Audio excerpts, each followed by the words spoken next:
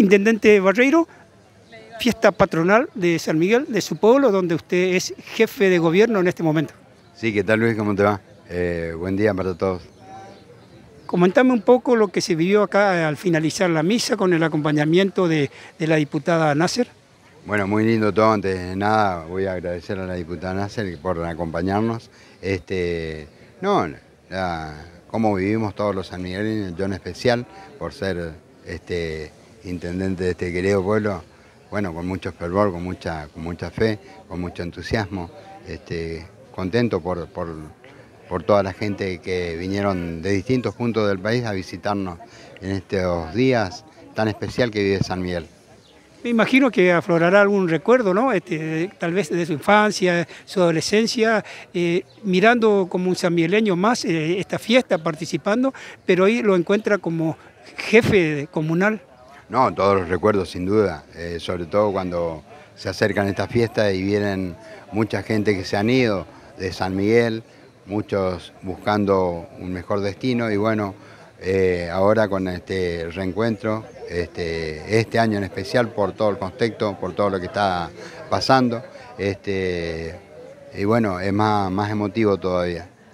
Me imagino también un sentimiento encontrado porque tal vez algún familiar suyo ya hoy no está con ustedes. Sí, es parte de la vida también, Luis. Este, no, no, no quisiera hablar de esto porque... Bueno, contame un poco cómo se vivió, a pesar de que es una fiesta religiosa, ¿no? ¿El municipio aportó algo, colaboró? El municipio siempre presente con todas estas manifestaciones que tienen que ver con la religiosidad, siempre, permanentemente.